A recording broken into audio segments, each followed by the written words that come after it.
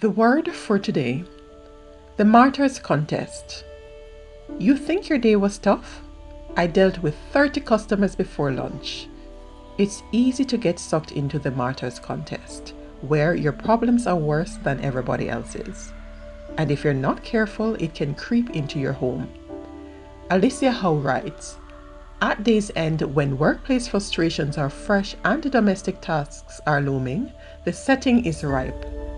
Spouses who desperately need each other to recognize their efforts battle it out for the title of hardest working person.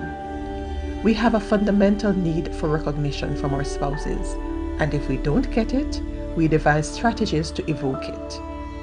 The problem is, when we compare ourselves, we can damage our relationship.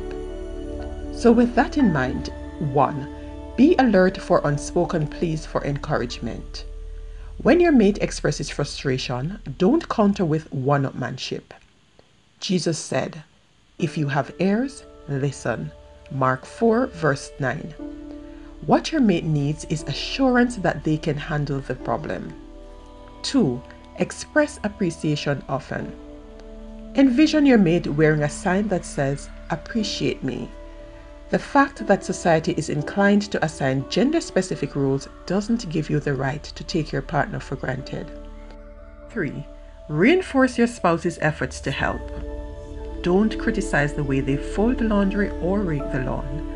When you do, you guarantee they won't try to do it again. Think of a four pronged fork. A.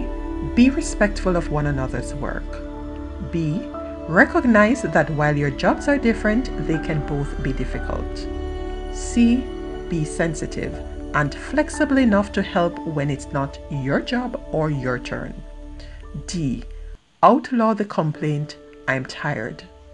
It's counterproductive, and chances are you are both tired of hearing it.